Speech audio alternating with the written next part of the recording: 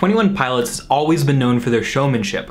I went to one of their concerts and it was complete with giant hamster wheel, the climbing of towers, and even a prestige like from Christopher Nolan's movie, The Prestige. But if we thought that 21 Pilots was gonna stop with their onstage performances or their music videos, we were wrong. But in a move that all 2018 marketers should pay attention to, Tyler Joseph and Josh Dun used social media to turn a year's break from touring into a almost hallowed and mythical hiatus. Dropping clues and hints for what appears to be a very intense storyline for their album Trench, Tyler and Josh have created a dystopian universe that we can't wait to hear more about. But at the same time, keeping up with all of this is incredibly difficult. There are so many clues, secret websites, and difficult references that even the biggest 21 Pilots fans have difficulty keeping up with. While I may not go over every single theory that's ever been proposed about this storyline, I want to use this video series to discuss and list some of the ones that I've researched and have found trustworthy. In this three-part video series, I will explain the DEMA mythology all the way from the No Fun Intended solo album up until the Trench album, so that you know what's going on. In this first episode entitled Setting the Stage, we're going to be exploring how Tyler has been giving us hints and clues all along, all the way from the No Fun Intended album through Vessel, Blurryface, and even Heathens. The second episode will cover the hiatus, and the third will cover Trench as a whole. But without further ado, let's get started. Hi everybody, I'm Clifford Stumme, the Pop Song Professor. Welcome to my channel where we make English class awesome by explaining and sometimes roasting lyrics on weekdays, as well as dig into theories about songs and albums. And let's go ahead and start with No Fun Intended, Tyler's solo album that he recorded in his basement and released in 2007. There are four hints in this album, and the first one comes from the song Blasphemy. We hear, and it said that a war's led, but I forget that I let another day go by, which shows that since the very beginning, Tyler's been thinking about his relationship with his thoughts as a conflict, and that conflict conflict metaphor is seen throughout all of the albums until finally we see it literally created in the lead up to Trench. In Drown we hear these lines, but it's warm from crying because he will try nine times to realize nine crimes, but he has more than nine lives, so he picks himself up and keeps fighting for the prize again. I and others have theorized that the nine bishops or the nine circles on Blurryface represent nine different sins or difficulties that Tyler and maybe people in general experience. So if that were the case, this line, which is undoubtedly a reference to what's happening in Trench, could refer to fighting against the bishops, failing, picking oneself up again, like in the ravine, and continuing the fight. Third, we hear in the same song, a random strike of light reminds me of what is true, but right now the ocean is blacker than black, the sky is too. The dark gray and black colors are a huge element in DEMA, and the black that the bishop put on Tyler's throat and that he used to have on his hands and on his throat during the Blurryface album could be related to this. At the very least, we know that Tyler sees colors as very symbolic, and for him, black appears to be a source of hopelessness. Finally, the No Fun Intended album cover is a car. The car is not exactly the same as the one we see in the Heavy Dirty Soul music video that's being driven by a bishop, but it looks very similar. While it may not be the exact same one, we know that cars are another hugely symbolic item for Tyler, a la car radio, taxi cab, a car, torch of death, and the Heavy Dirty Soul music video. And then we get into Self-Titled, which 21 Pilots released in 2009, and we find two big hints here. Number one, look at the album cover. Here we see a gray world, like DEMA, where the only color to be found comes from one's mind. The outside world and external forces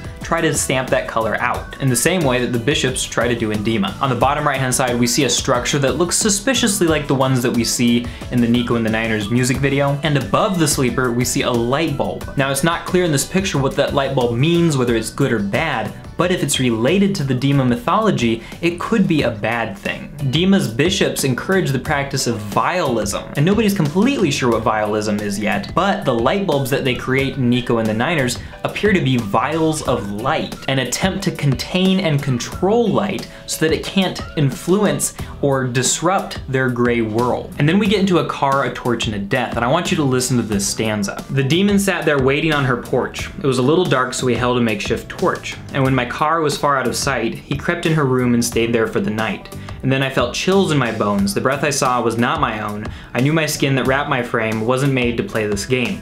Then I saw him, torch in hand, he laid it out what he had planned, and then I said, I'll take the grave, please just send them all my way. A Car, a Torch of Death is about realizing what it truly means to love someone who's troubled by their own demons, and the death is being willing to die for someone else. Now if you noticed in the Heavy Dirty Soul and Jumpsuit videos, the car was an important piece of imagery.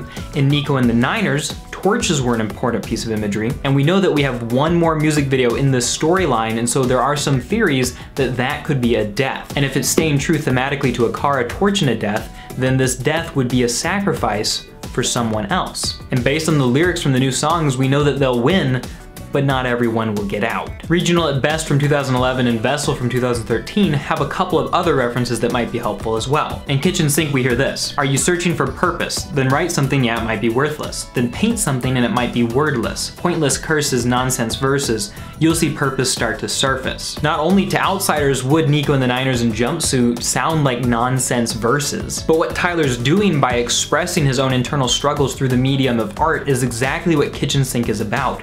And we are looking at these new storylines and plots the same way that we used to look at Kitchen Sink. It means something, but we're confused and we're not sure until we hear more, until the artist feels like it's time to share with us. Basically, he's following his own advice. In the car radio music video, as Tyler devolves into more existential thought and emotional crises, he's shaving his hair off. Now I can't completely confirm this, but it's almost as if though as he shaves his hair off, there's less between his head or his mind or himself and us. It's almost as if though it's symbolic of how he's getting more vulnerable. And since he left that car in Heavy Dirty Soul and has been in Dema, his hair's grown out. And so there's a very small chance that this could be symbolic of him being less vulnerable in the moment. Or he could just not want to shave his head all the time. If you watch the Holding On To You music video, you'll see that Tyler and Josh are singing and playing the drums while these contemporary dancers with skeleton face paint dance all around them. They're almost like wraiths or smoke as they wisp about back and forth hovering around them and interrupting what they're doing. At one point, they put a noose around Tyler's neck and try to drag him straight down. And we see one particular ballerina who's wearing a lot of black and who's dancing by herself. All of these people seem to represent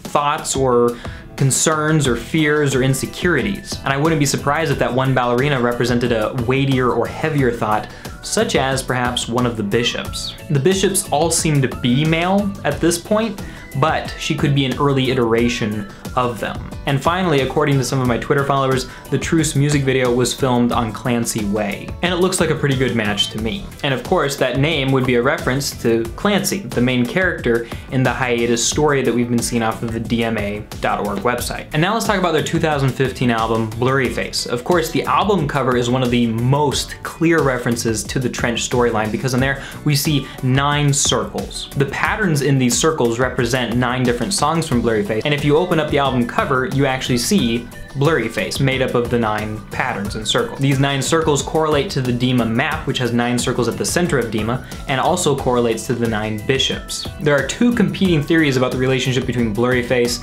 and the bishops. He either could be all of them collectively, as suggested by the blurry face album, where he is all of them collectively, or he could be one of them in particular. Perhaps one of them is unique to Tyler, and other people serve different other bishops. In the mythology during the hiatus, we've heard about a failed perimeter escape that we'll talk more about in a future video, but it has the initials FPE, which refers to Fairly Local, the few, the proud, the emotional. And in the Fairly Local music video, that's the first time we see the red beanie, the color of the bishops, and Tyler with his throat and his hands painted black. He's explained that the reason for that is because that's where he makes his music, through his throat and his hands. And so that's where he has a lot of insecurity and doubt tied up. These bishops apparently spread insecurity and doubt in their followers. In the Stressed Out music video, we see the black and red motif motifs continued. We see a similar handshake to the one in Nico and the Niners, and we also hear Blurryface speak as we did in Fairly Local. And stressed out he says, my name's Blurryface and I care what you think, suggesting that Blurryface and the bishops have to do with insecurity. In The Judge, we hear a slight description of perhaps Blurryface or one of the bishops when Tyler sings,